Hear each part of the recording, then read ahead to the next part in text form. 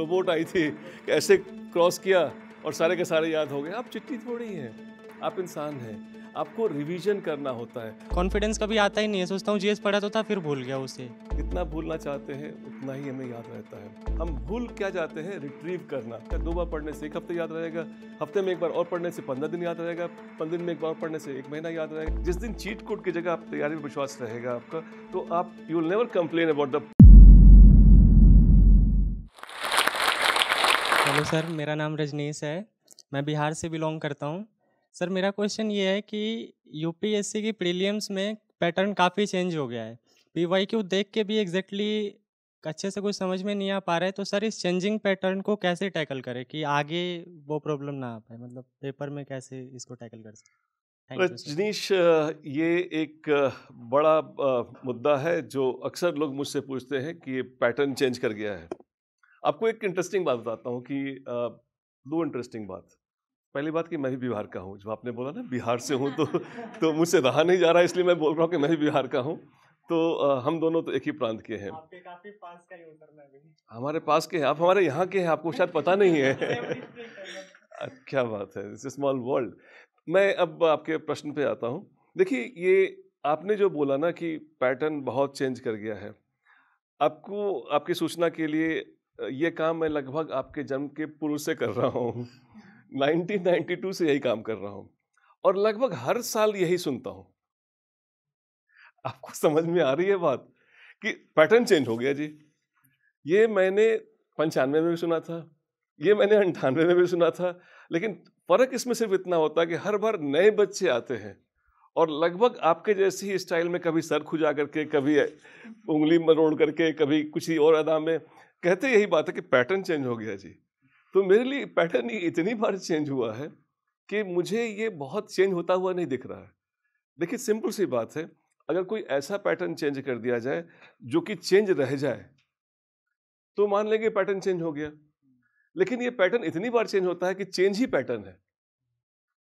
और एक बार आप ज़रूर ध्यान रखें कि अगर ये पैटर्न चेंज हो रहा है तो समस्या उन लोगों की ज़्यादा है जो कई सालों से तैयारी कर रहे हैं। जो किसी खास पद्धति को, पैटर्न को, एक ऐसे प्रारूप को ध्यान में रखकर तैयारी कर रहे हैं। आप अगर फ्रेश हैं तो आपको तो और ऐसी कोशिश करनी चाहिए, दुआएँ मांगनी चाहिए कि पैटर्न चेंज हो जाए, ताकि कंपटीशन कम हो जाएगा आपका। लेकिन यूपीएससी को हर साल अब जो भी उनको चौदह हज़ार, पंद्रह हज़ार बच्चे लेने हैं, उतने तो मिल ही जाते हैं ना। तो पहली बात तो ये कि आप पैटर्न की चिंता नहीं करें क्योंकि पैटर्न अगर है भी तो वो अनप्रडिक्टेबिलिटी की पैटर्न है। वैसे जानते ही आप यूपीएससी का जो एक्चुअल फुल फॉर्म है unpredictable service commission so UPSC ऐसे ही बनती है। तो अनप्रडिक्टेबिलिटी तो उनके नाम में है उनकी संज्ञा में है तो उसकी चिंता नहीं करनी है। हाँ लेकिन आप जिस पैटर्न से आप रूबरू हैं आज की तारीख में आपको अगर मैं बताऊँ कि आप कुछ 95, 96 के 98 के क्वेश्चन उठा के देखें। आज से करीब 25 साल पहले के क्वेश्चन देखें तो ऐसा कुछ क्वेश्चन उन दिनों भी आता था। तो it is a big juggernaut which is moving and इसमें आप देखें पहले असर्शन रीजनिंग क्वेश्चन आते थे। क्योंकि यूपीएससी को देखो क्या करना है बेटा कि वो ऐसे लोगों को लाइक नहीं करती है जो एक बैकडोर एंट्री से यूपीएससी में घुस सकते हो। तो it always tries to keep the situation little confused in a situation so that कि ये जो कोचिंग वाले हैं, उसका एक चीट कोड बना करके एक सिल्वर बुलेट पकड़ा दें आपको कि जी, ये पकड़ लो, इससे हो जाएगा काम। एक पैटर्न जो कभी चेंज नहीं किया है, वो पैटर्न है कि pattern of wide broad reading जिसने वाइड ब्रॉड रीडिंग कर रखी है, जिसने बिटवीन द लाइन की समझ रखी है, उसके लिए पैटर्न चेंज नहीं होता है। जानकारी वही है। अब उसको कैसे प्रेजेंट करके कैसे आप पूछ रहे हैं? लोगों ने कोई चीट कोड बना लिया था, आपको पता होगी कि ये जब ऑलवेज आ जाए वर्ड नेवर आ जाए वर्ड कोई एक्सट्रीम वर्ड आए तो उसको वहाँ से पकड़ ले। यूपीसी को खबर लगी अच्छा ये तो डिकोड हो गया। बदल दिया उन्होंने। फिर उन्होंने बता दिया कि कम्बिनेशंस वाले तो कम्बिनेशन पे अब तो आजकल सूचना का इतना ज़्यादा प्रजातांत्रिकरण हो गया है कि एवरीथिंग इज़ डेमोक्रेटाइज फटाफट यूपीसी भी पता करती रहती है कि क्या चल रहा है। आई थिंक उनकी एक बहुत बड़ी टीम होगी जो उसको देखती रहती होगी। उन्होंने बताया अच्छा ये भी डिकोड कर लिया है इन्होंने। उन्होंने फिर बदल दिया। लेकिन करना क्या है उनको कि अगर आपके पास दो ऑप्शन है, आप या तो उनके पैटर्न का स्टडी करते रहो, अगर आपने कोचिंग इंस्टीट्यूट खोलना है, या फिर उनका पैटर्न कुछ भी है, आ जाए। उनको सेलेक्ट इसी भारत के इन्हीं युवाओं से करना, आप में से ही करना है। तो I think I am ready जो इंसान अगर ये सोचता है कि I am ready I think आप कैसे भी पूछ लो, किसी भी पैटर्न में पूछ लो, मुझे चीट कोड पर नहीं, अपनी तैयारी पर विश्वास है। जिस दिन चीट कोड की जगह आप तैयारी पर विश्वास रहेगा आपका तो आप you will never complain about the pattern कि पैटर्न बदल गया पैटर्न बदल गया। आप से मैं एक चीज़ अजनीश पूछता हूँ, कभी आपने किसी पास के हुए बच्चे को देखा है सुनते हुए, कहते हुए कि जी आ, मैं पैटर्न चेंज कर गया था और मैं पास कर गया। No, पास ये करने वाले बच्चे कभी भी पैटर्न की दुहाई नहीं देते। जो फेल करते हैं जिनका पीटी नहीं निकलता है उनको अपने आप में विश्वास नहीं होता है they don't own their failures तो वो क्या बोलते हैं? पैटर्न चेंज कर गया। अगर पैटर्न चेंज कर गया तो सिर्फ़ उनके लिए चेंज किया था या सबके लिए चेंज किया सबके लिए किया था सर सबके लिए अगर चेंज किया था तो डेफिनेटली आप कंप्लेन इसलिए कर रहे हैं कि आप पास नहीं हुए। यस yes, सर तो इसको ज़रूर आप ध्यान रखिए कि पैटर्न पे कोचिंग वालों को ये करने दो। उनके पास बहुत टाइम है उनको स्टडी करने दो। आप तो अपनी पढ़ाई पर अपनी मेहनत पर अपने एफर्ट पे विश्वास रख करके आप काम करते रहो। पैटर्न आता रहे नहीं आता रहे पास करने वाले रजनीश जैसे बच्चे आते ही रहेंगे। This is what I believe in thank you sir. Sir मेरा क्वेश्चन ये है कि मैं मैथ्स बैकग्राउंड से हूँ मैथ्स ऑनर्स कर रहा हूँ और ऑप्शनल भी मैथ्स लेनी है। तो सर जब जीएस करता हूँ तो मैथ्स कॉम्प्रोमाइज़ होता है और मैथ्स करता हूँ तो जीएस भूल जाता हूँ। जीएस पढ़ता हूँ बार बार उस समय आ जाता है फिर बाद में भूल जाता हूँ। तो सर इसको कैसे बैलेंस करूँ? और फिर कॉन्फिडेंस कभी आता ही नहीं है सोचता हूँ जीएस पढ़ा तो था फिर भूल गया उसे। और मैथ्स फिर भी याद रह जाती है माइंड में वो करूँ तो जल्दी हो जाती है। तो इसको मैथ्स uh, के बारे में एक चीज़ मैं बताना चाहूँगा मुझे एक उनका नाम शायद नहीं लेना चाहूँगा यहाँ पे बड़े इमोशनल लोग होते हैं मैथ्स के, कि या तो कुछ लोग बिल्कुल ही उसको पसंद नहीं करते हैं, और फिर कुछ लोग बोलते हैं कि मैथ्स के अलावा कुछ और चाहिए नहीं ज़िंदगी में, मैथ्स ही मेरी ज़िंदगी है। तो संभवतः आप उस कोठी में आते हैं, आपको मैथ्स पसंद है तो बहुत पसंद है। बीच में मैंने नहीं देखा है कुछ लोगों को कि मैथ भी ठीक है, ऐसा नहीं, या तो ठीक है या नहीं ठीक है। There is hardly any binary that exist वो fuzzy that exist fuzzy mathematics होता है ना कुछ? ज़ीरो और वन के बीच में तो there is hardly any fuzzy about this so अब मैं आपको बताऊँ कि आप भूल क्यों जाते हैं? भूल इसलिए जाते हैं कि आपको ऐसी उम्मीद थी कि मैं, मेरे दिमाग में एक फ़ोटो स्टैट मशीन लगी है, जो कुछ भी गुजरेगा, इसमें से बिल्कुल याद हो जाएगा। वो चिट्ठी की तरह, चिट्ठी था ना कोई एक फ़िल्म थी रोबोट आई थी, कि ऐसे क्रॉस किया और सारे के सारे याद हो गए। आप चिट्ठी थोड़ी हैं, आप इंसान हैं। आपको रिवीजन करना होता है। और एक चीज़ बताऊँ कि रजनीश कि आप भूल नहीं सकते हैं। यकीन करोगे क्या? आप नहीं भूल सकते हैं। आप भूलते क्या हैं? उसको रिट्रीव करना। अगर मैं आपको अभी यही बोल दूँ कि आप नहीं भूल सकते हैं ये मैं आपको बता रहा हूँ कि आप नहीं भूल सकते हैं। कितने दिन लगेंगे इसको भूलने में कि मैंने बताया था डॉक्टर खान ने बोला था कि मैं नहीं भूल सकता हूँ? कितने दिन लगेगा बताओ? हफ़्ते के बाद मिलूँ तो बता देंगे कि मैं नहीं भूल सकता था ऐसा बताया मैंने। एक महीने में भूल जाएँगे? कि मैंने बताया था आपको कि आप नहीं भूल सकते हो?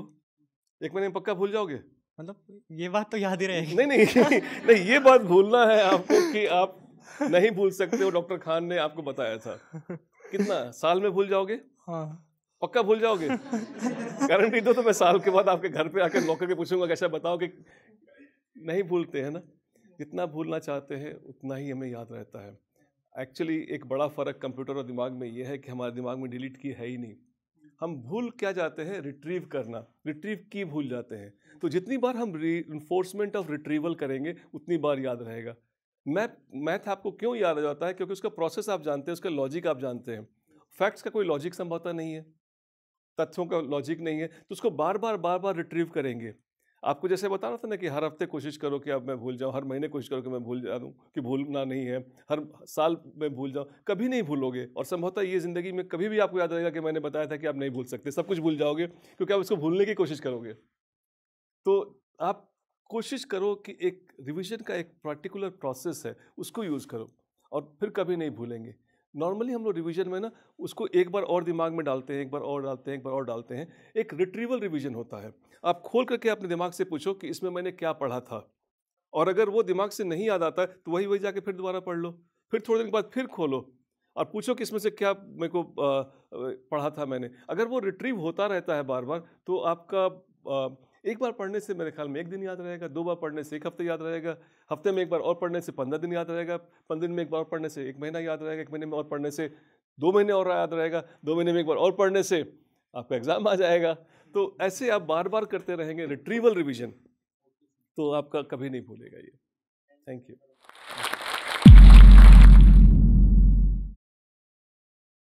हेलो एस्पिरेंट्स हम में से बहुतों का सपना है आईएएस ऑफिसर बनना।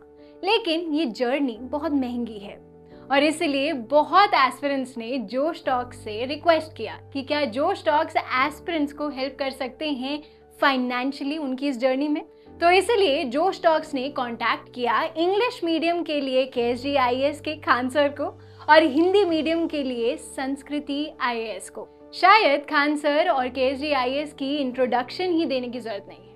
देश के सबसे जाने माने और रिस्पेक्टेड इंस्टीट्यूट्स में से है के सृष्टि जैन देशमुख, शायद आपने नाम सुना हो, सर की ही स्टूडेंट रही हैं, जिन्होंने 2018 में ए आई आर फाइव हासिल की।